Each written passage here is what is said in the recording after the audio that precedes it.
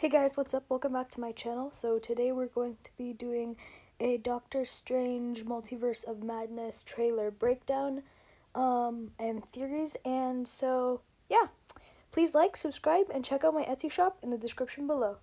Let's get started. So the first thing we saw in the trailer was Doctor Strange doing this kind of like magic, maybe like I would call it like dark magic kind of, and basically turned his like turned his started turning him into some creatures um stuff like that. And so this also was very similar to what happened in what if which if you watched the episode it was where like Doctor Strange was trying to get his wife back after well her his girlfriend back after she died. Um so he started like gaining power from different creatures and like absorbing them. We can see this like creature kind of destroying this bus and it looks similar to how Doctor Strange turned into like his arms turn into like tentacles so it's very similar to what if. We see like an evil Doctor Strange come in kind of and he looks very like drained and this is um this could be the evil Doctor Strange from What If and that would directly connect to What If meaning that what if like some of it is like merging and it's definitely possible since what if takes place in a different like universe and since it's now the multiverse it could merge um, we also see this young girl who we can probably confirm is America Chavez given how her outfit looks very similar and we know that she is going to be appearing in the movie um, and for those of you who don't know who she is, she's in a, a teenage lesbian superhero who appeared in the comics.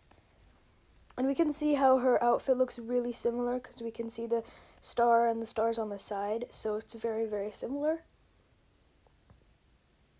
Um, then it comes to this scene, which was also found in the trailer, which is basically Doctor Strange's wife, and it looks like they're getting married, maybe? There's some sort of wedding or like special event that's happening, maybe even a funeral